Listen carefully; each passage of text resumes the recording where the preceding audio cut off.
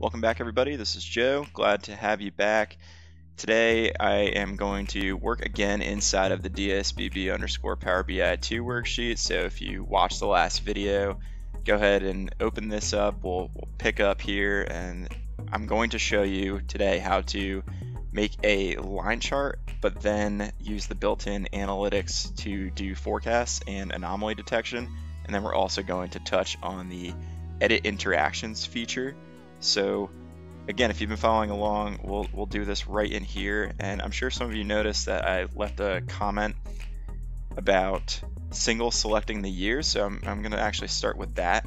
And I'll move this year slicer up to the top and resize a little bit. And this will start to look like a pretty decent dashboard now. If you do a drop down by selecting this little caret right here, and we can even re resize some more. Then we can come over to our format pane, make sure you're still selected on this year slicer visual, and slicer settings, single select is on. So now we can select any one year. And if you remember from our last section here, this here on the left hand side, that is going to just filter on the year you select. So 1821 life expectancy on average for all the entities is 34.13 and then it breaks it out for every entity obviously. And then here on the right is showing you 1821 forward. So since we have those later years like all the way up to 2016 obviously it's going to show you it's a little higher. So this is doing exactly what we wanted to do. I also have the updated measure in here. So the one that we're using select year to present this is what it's called as of date selected. It has that coalesce that I had mentioned you don't need it now that you have the single select on, but it also doesn't hurt. It's foolproof if you don't have a single select. So what this will do, again, just a quick review, is I have coalesce on the minimum. So if I have a year slicer and I select multiple dates like 1801, 1805, 1807, it's not going to give me one selected value for year if I select all of those. So it'll give me the minimum instead if I happen to select multiple. So it'll do 1801 forward, despite me selecting 1801, 1805, 1807, whatever I said. However, the column on the left will just show you for those three years exactly that you selected. So it kind of depends on what you're looking to do here. But now that we've got this all set up, click on the blank section over here, click on your line chart. And again, we'll resize this a little bit, put it right next to the table make it about as big as the table there. And for this one, we want to have our year on the x-axis, pretty typical when you're doing a line chart. So we'll do year here on the x-axis, and this will start to take form when we do average, and we're just going to, if I make this a little bigger, we'll just do the average life expectancy for values. And okay, it's only going to show you one year, right? So that's a problem. I mentioned we can use this edit interactions. So if you, if you select your year slicer and then go to, I have to remember where this is now, format, edit interactions, you'll see these little icons pop up, top right corner of the visuals. We want what we select here, 1821, to affect this visual. If we didn't want it though, we can select the none, but we do want it to affect it, so we'll click on this filter. However, for the chart, this visual we're selected on here, 1821, we don't want it to limit our line chart to just 1801. We want it to just show everything. So in this case, we could do a none, and then all of our years are back. So whatever we select here, now like 1806, it's only going to affect this here on the left. It's not going to affect the line chart on the right. Typically, this, this is the use case for the edit interactions. It's on a year slicer where you want some visuals to be affected by the year you select. Then you have a line chart and you're showing all the years on the bottom axis because it's it's self-explanatory for the user. If they select a year here and they see all of them on the x-axis, that that's what it's supposed to do for a line chart. So I, I think this is the best use case for edit interactions when you're showing multiple visuals on the same page. So we can click off of edit interactions or just click anywhere. And now we can see we have like a little forecast here and average life expectancy. This is for all entities. So I'll leave it all entities for now, select the visual, and then we can go over here to this visualizations. You've got a right here you've got uh, your visualizations pane. This is the format pane. And then this is the analytics. So this is what we want here. You can add like your normal trend line. I can just click on. But what I actually want to show you is this machine learning piece of Power BI. And yes, it is machine learning.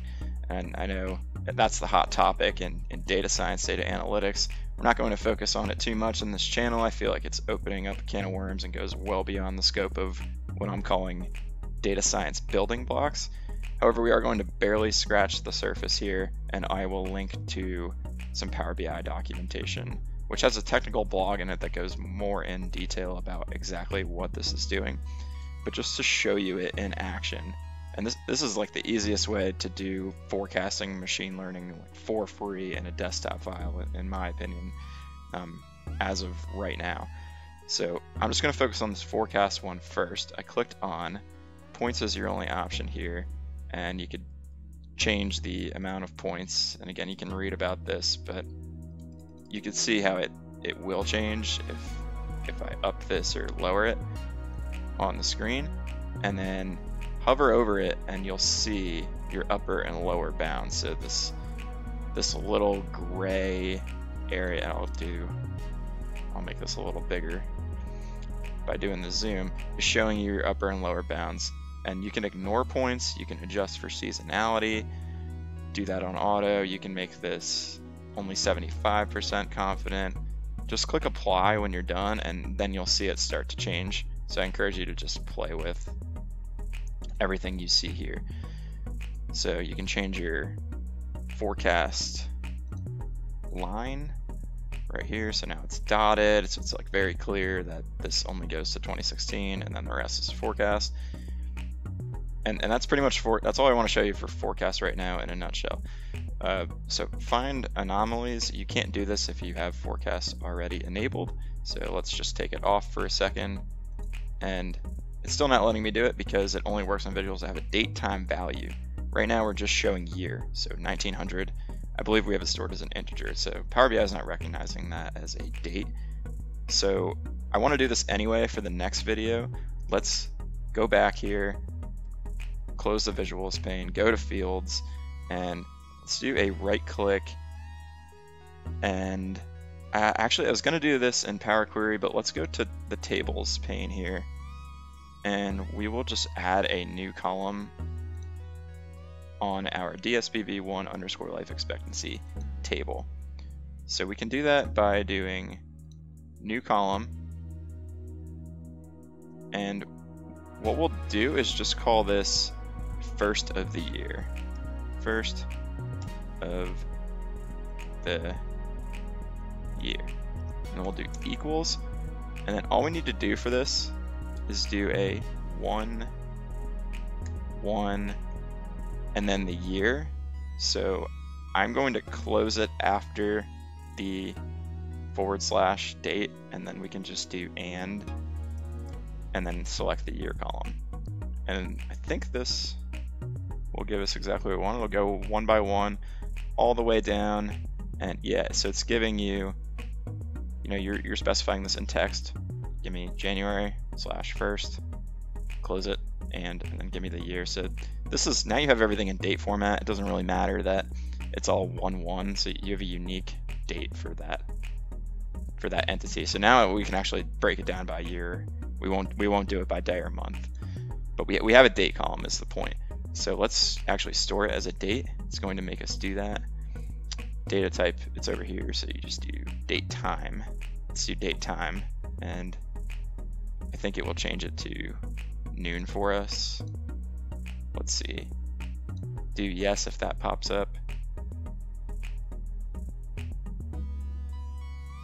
And yes, so it'll change it to not noon, but 12 a.m. And that's totally fine as well. So we can get out of this, that's already saved for us. So we can go back to our report. And now, instead of doing the year on the bottom, we can change it to this first of the year. And like I said, now there's a date hierarchy. It has year, quarter, month, day.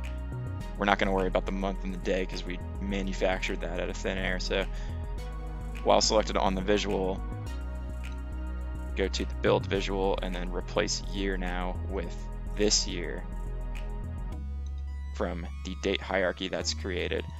If you don't have the date hierarchy, you may have to go to File, Options and Settings, Options, and there is a little setting that you might have to toggle on here under your data load current file you have this auto date time I believe that is what if you don't have that checked you might not get that that date hierarchy so go ahead and check that you might have to save close out come back in but so now that we have this here we can go to our analytics pane here again and now you can turn find anomalies on and okay, so you see these bands here, they appear now. And I'll make this bigger again. Look at the sensitivity here, it's 70, and I encourage you again to just play with this. So if I bump this up to about 80 and then click apply, you can see the band start to shrink. So this is way more sensitive.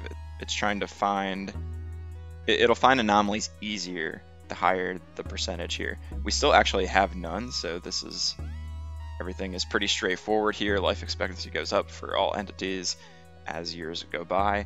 But if we bump this up to, let's try to find one, maybe 87, click apply. Still no anomalies. Just want to show you how it looks. 90. Okay, now we have two, and it's not until the very later years.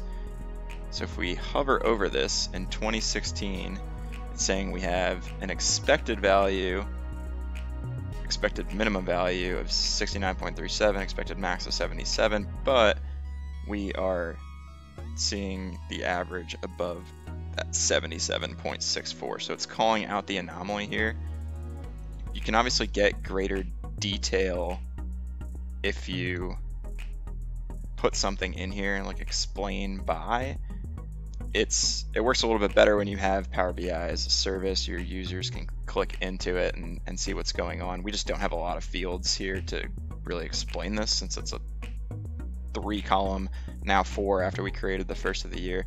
There's really gonna there's not enough here to tell us what's going on. We don't have like a robust data set where things are modeled together. So I'm going to ignore that for now and just show you this is how you would do it. And if you had a data set with other attributes, you can pull those into the explain by, click apply, and sort of see what's going on, what's driving these anomalies, or at least give you some idea. So again, I'll link to some more technical blogs on this. I'm not going to jump into it, just showing you that it's here, showing you that it's a quick and dirty way to do machine learning. Only thing left to say here on the marker side, you can change this up. So if you don't want it to be a little teardrop, you can make it a square, change the color to blue, fix your expected range so that it doesn't need to be a 80% transparency black. It could be this bluish color and maybe it's not 100% transparent, then you won't be able to see it. 47 said, So there, there you have it. That's a quick tutorial that now you know where you can find forecasts and anomalies. You can select your year, see your table change exactly the way you want it to, and then you can see average life expectancy by year. Very last note, if I click on Brazil over here, remember that Power BI is super dynamic, so I don't even need an entity filter. I could add one very easily the same way I did for year, but you can just click on Germany, whatever over here for entity, and see your chart over here to the right change.